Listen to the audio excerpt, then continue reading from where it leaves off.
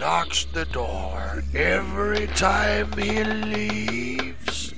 Sometimes he locks it twice with a heavy chain on the door.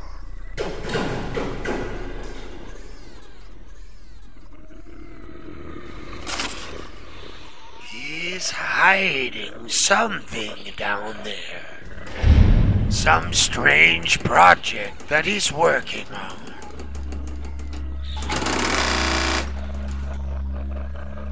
Why is he always carrying around some boxes and talking to people on the street?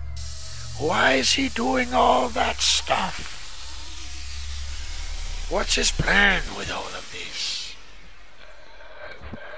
I wanna